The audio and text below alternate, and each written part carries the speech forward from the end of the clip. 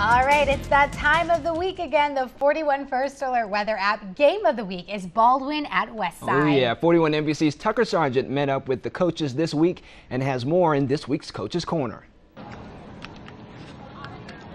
Skylar, can you believe it's already week eight of the high school football season? Uh, I know I can. It's it's kind of sad in, in, a, in a way, but we got a good matchup for you tonight here at the Ed Defore Sports Complex. For the first time this season, our 41 First Alert Weather App Game of the Week is here in West Macon for a West Side's game against Baldwin tonight. Now, this game has turned into a pretty decent rivalry over the years, and yesterday I got a chance to talk with Baldwin's coach Dexter Copeland and West Side's head man Shedrick Risper about tonight's matchup. Baldwin and Westside will meet for the 10th time tonight at Macon's Ed Defore Sports Complex. So far, the series has been pretty even. Westside won the first four meetings, Baldwin won the next four.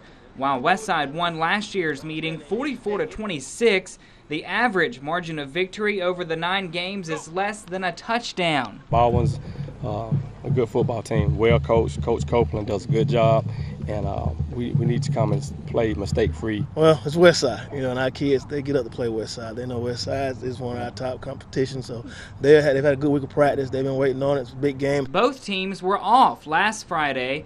Baldwin coach Dexter Copeland says the break was much needed. We're still struggling a little bit with some blocking assignments, but we just got to play fundamentally sound football and don't turn the football over. Westside's strength is its defense. The Noles held region leader Mary Persons to only 16 points last time out.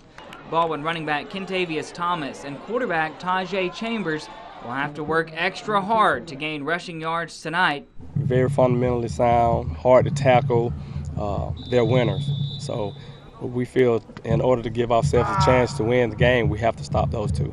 It might only be week eight of the regular season, but expect a playoff atmosphere tonight. Our fans are going to be there. I know West Side fans are going to be there. Like I said, it's a big game for both of us because if you lose this one, you kind of behind the eight ball. So it's a playoff game. It's like a round one, first round playoff game. The Seminoles and Braves do battle tonight here at the Ed Defore Sports Complex at 7:30.